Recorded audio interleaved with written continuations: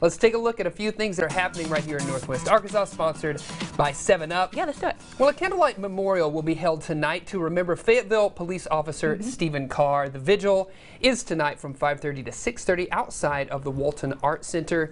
During that time, Dickson Street from West Avenue to School Street will be closed at 6 p.m. Chief Mike Reynolds will speak to the crowd.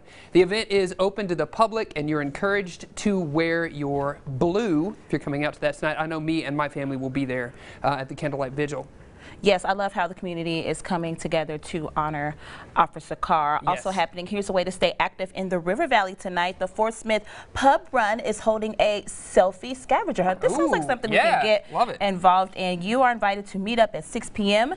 at uh, Neumeier's Rib Room for this fun scavenger hunt. And of course, wear your festive gear and lights. And trust me, if you need to find somebody with some festive gear, just grab somebody that was on the uh, SantaCon over the SantaCon? weekend. There's plenty of people running around here with Santa suits. I have a really fun sweater as well. You did, I'm you happy to let you yesterday. borrow if you want. That that that sweater had a really fun little uh, thing you could do with Santa's hat. That's right. You could put a cup in Santa's hat yesterday, Yeah. so it, it comes full with an accessory. Yeah, it sounds fun. Here's something else that sounds fun. I love that this continues to happen. The Scott Family Amazium invites you to help build the Maker Educator community by attending its Maker Educator Meetup. You'll have the opportunity to meet other makers and share strategies and ideas with the team from the Amazium. Tonight's event happening at Thaden School in Bentonville and will start at 6:30 p.m.